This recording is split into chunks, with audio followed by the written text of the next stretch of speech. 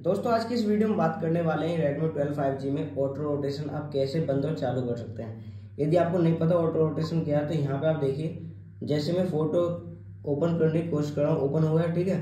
अगर मैं इसको सीधा करने की देखने की कोशिश करूँ, इस तरीके से फ़ोन घुमाता हूँ तो मेरा फ़ोटो फिर से घूम जाता है। और मैं इसको सीधा देखना चाहूँ तो ये फिर से सीधा इस तरीके से नहीं घूम पाता है। तो इसको बंद करने के लिए आपको क्या करना है, आपको यहाँ पे कंट्रोल सेंटर अपना ओपन करना है इस तरीके से, और यहाँ पे लॉक ओरिएंटेशन पे क्लिक कर देना है।